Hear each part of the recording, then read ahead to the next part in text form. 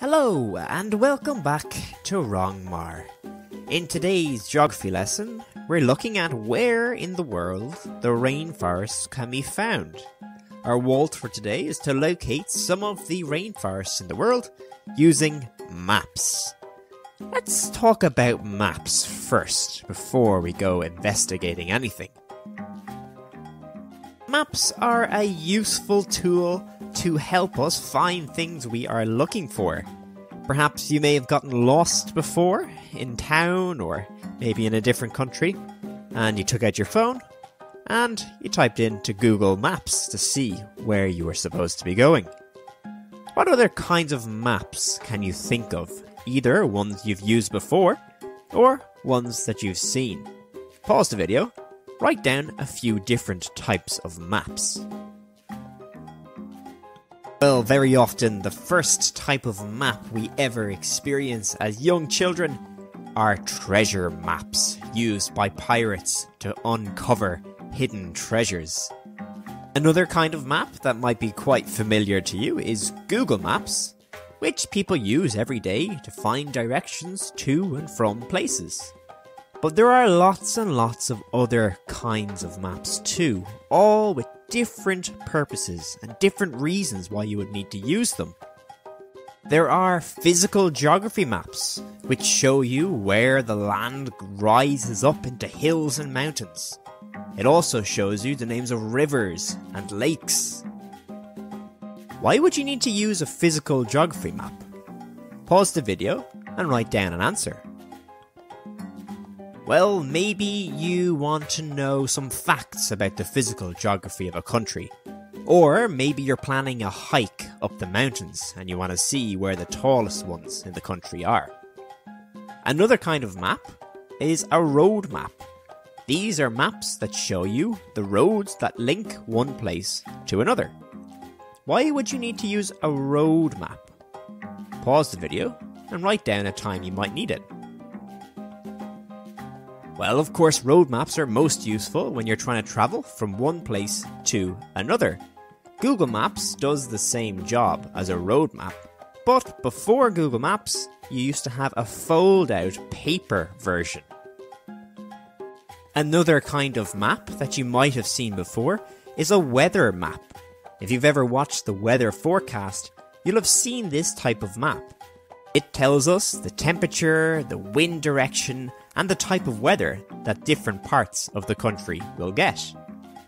The last and probably most common map you would see is a political map.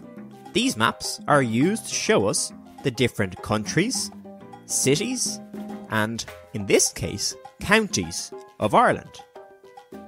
Today, we're going to be using political maps of the world to discover where the rainforests are. Do you already know about rainforests? Do you know any facts? What makes a rainforest a rainforest? Pause the video and write down a few answers. Well, there's a clue in the name.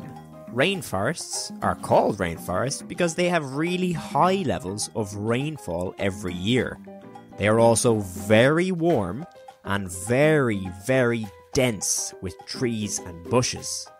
This means that there is not a lot of wide open spaces like fields. Where in the world do you think the rainforests are? Have a look at this map of the world. Here is Ireland up here. Whereabouts do you think we would find rainforests?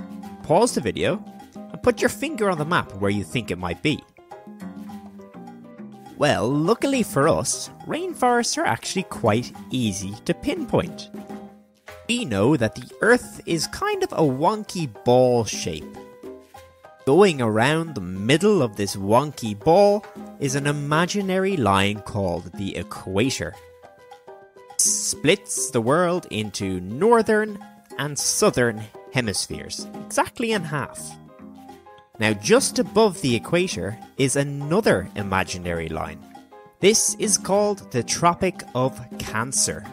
And below the equator, there is another imaginary line called the Tropic of Capricorn. Nearly all of the world's rainforests are found between the two tropics. That's why they're called tropical rainforests. Take a look at this map. It shows you all the places you can find the tropical rainforests of the world. You probably noticed that they are between the two tropics. Our world is broken up into seven different continents. Can you name any of the continents? Pause the video and see how many of the seven you can name. So our seven continents are North America, South America, Africa, Europe, Asia, Australia, and Antarctica. Let's put our two maps beside each other and see if we can figure out where the rainforests mainly are. So, up here we have our rainforest map, and below we have our continents map. Look at both of them very carefully and see what continents are most of the rainforests found on. Pause the video and write down which three continents.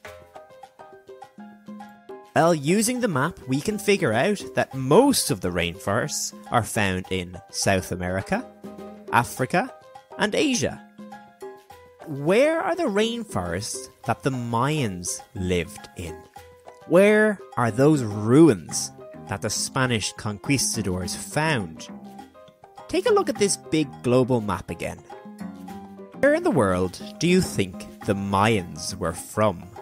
Pause the video and put your finger as close as you can. Well, the Mayans lived in this part of the world here.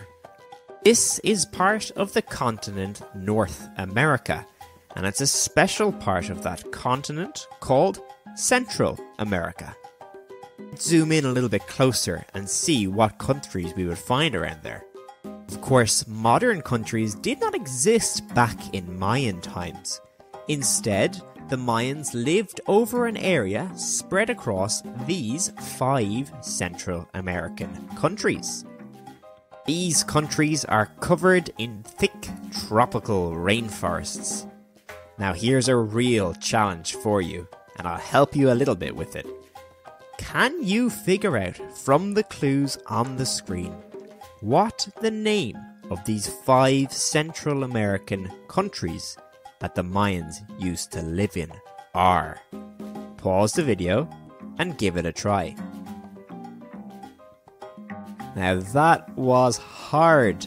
The five countries that the Mayans used to live in are Mexico, El Salvador, Guatemala, Belize, and Honduras.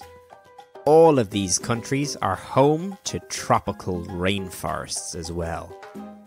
Okay, time to go off and discover some of the locations of the world's tropical rainforests. When you're ready, you can try the practice activities down below. Our WALT for today was to locate some of the rainforests in the world using maps.